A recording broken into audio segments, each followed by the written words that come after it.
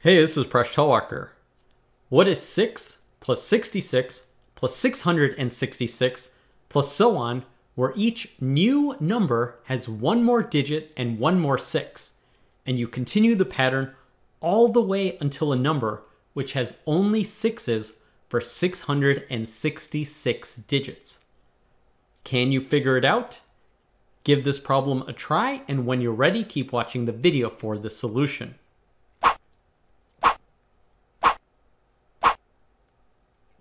So let me first explain the answer to this problem. One way you could write the answer is in the following form. It'll be 6 ninths times the following quantity. We first have a fraction where the numerator is 10 to the power of 667 minus 10, and the denominator is 9. We then subtract 666 from that fraction. But what is this as a number? We could write it out in decimal form in the following fashion. It's a 666 digit number, which has the string 740 repeated over and over again until the very last three digits, which are 296.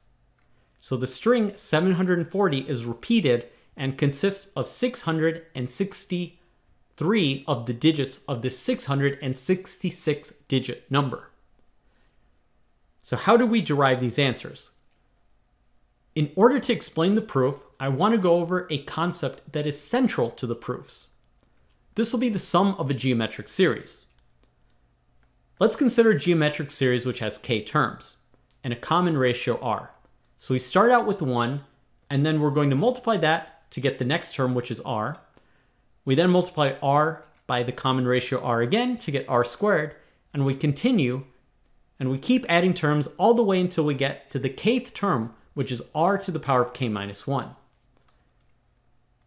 To find the sum, we do a neat little trick. We multiply the sum by the common ratio r. Look at what this will do to each term. The first term 1 becomes r, the second term r becomes r squared, and the pattern continues we've essentially shifted over the summation and we get one more new term, r to the power of k. We now subtract the second equation from the first. This will cancel out many terms. In particular, we cancel out the r's, we cancel out the r squares, we cancel out all of these middle terms, and we cancel out r to the power of k minus 1. When we subtract the two equations, the only terms that survive are 1 and minus r to the power of k. We now factor s sub k on the left-hand side, and then we divide both sides by 1 minus r. And that's the formula that we want. The sum of a geometric series will be equal to a fraction where the numerator is 1 minus r to the power of k, and the denominator is 1 minus r. Sometimes it'll be convenient to multiply the numerator and denominator by negative 1, and that's the formula I use in this video, which is r to the power of k minus 1 all over r minus 1. One more note, let's suppose we have a geometric series that starts out with some other term a. We then essentially multiplied each term by a, so that will also multiply our sum by a. So these would be our formulas if our geometric series started out with the term a. For completeness, I'll mention that if we were dealing with an infinite series, if our common ratio has an absolute value of less than 1, then we could find the sum of the infinite series by taking the limit as k goes to infinity, and this will become the well-known formula of the sum of a geometric series, which is a divided by 1 minus r. So now, let's get to the problem. We'll generalize by saying the last number we're adding has n digits. The first step is we'll factor out a 6 from each term. So we now have 6 multiplied by the following sum. 1 plus 11 plus 111 plus so on, all the way until the last term has only 1s for n digits. We now write out each term in expanded form. So 1 stays as 1, but 11 will become 1 plus 10. Similarly, the next term, which would be 111, will be 1 plus 10 plus 100. And we continue writing this all the way until the very last term, which is only 1 for n digits. So what would be the expanded form of this? We'd basically be adding up the powers of 10. 1 plus 10 plus 100 plus so on all the way up to 10 to the power of n minus 1.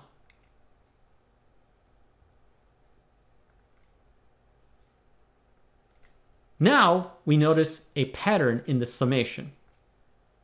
Each of the parenthetical terms will be a geometric series with a common ratio 10 and a different parameter with a different number of terms. So we can now use the formula for the sum of a geometric series for each of these groups. So 1 can be rewritten as 10 minus 1 divided by 9. 1 plus 10 can be rewritten as 10 squared minus 1 over 9. And we can keep writing each of these grouped terms in that way until the very last term, which we will get as 10 to the power of n minus 1 all over 9. Now, what we can do this term is that we can factor out a 1 ninth from each of the terms in the summation. So we have 6 ninths times the following summation. We have some powers of 10 being added together, and we have negative 1 in each of these groups. So now, let's rearrange the terms in this summation. We'll group all the powers of 10 on the left and all the negative negative ones on the right. Now, each of the groups had a negative 1, so there will be n terms of negative 1. This will simplify to be negative n. Now we have something magical. We'll factor out a 10 and it'll make it a little more explicit that we have another geometric series. So again, we can use the formula for the sum of a geometric series. So we end up with the following formula. And this will be very close to the answer I presented earlier once we distribute the 10. So we have 10 to the power of n plus 1 minus 10 all over 9 then we subtract n, and then we multiply the entire thing by 6 ninths. To get to our specific case, where we had 666 equal to n, we substitute that in, and we get the answer that I presented earlier.